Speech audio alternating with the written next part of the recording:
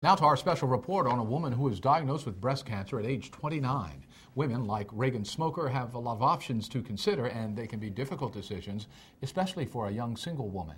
Well, Reagan opted for a double mastectomy and breast reconstruction, and tonight, 8 on your side medical reporter Susan Shapiro follows her into the operating room for the second phase of her reconstruction.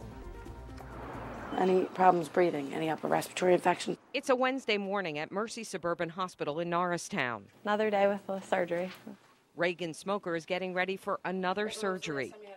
Her mother is here from Lancaster County for support, and her breast surgeon pays a visit. They're like, oh, it's fine. It's fine. The 29 year old underwent a double mastectomy a year ago after being diagnosed with breast cancer. Now she will have the second stage of breast reconstruction. This is a nice surgery, though. I actually get something back. I think it's very important for us uh, reestablishing the patient's self-esteem, uh, to make them feel good about themselves, uh, to make clothing fit, uh, to make them more normal through the rest of their lives. This is Reagan's fifth and hopefully last surgery. She had some unexpected complications, like an infection. Suction, please. Plastic surgeon Daniel Wistowski first makes a four inch incision to remove tissue expanders. They were put in place months earlier to stretch Reagan's skin. Ready? Once that's complete, he goes about putting in the gel filled implant.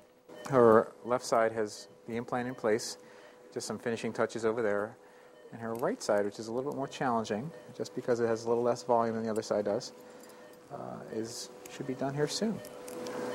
What's the trick, if I might say, to putting these in and having them come out, you know, natural looking? Just paying attention to all the details from start to finish. As a final step, Dr. Wistowski attaches what's called a pain ball to Reagan's catheter. It will administer a local anesthetic round the clock to hopefully keep her pain free. How long did it take? After about two hours, Reagan is wheeled from the operating room to recovery. Unfortunately, this would not be her last time here. About two weeks after the surgery, she discovered the incision on the right side.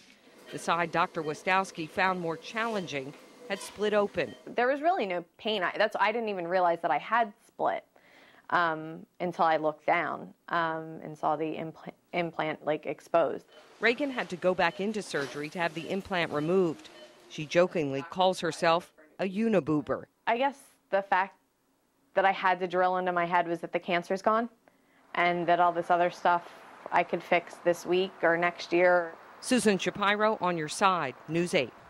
Wow. Now, Reagan says she is still weighing her options, which include further reconstruction. You can see part one of Susan's story on WGAL.com.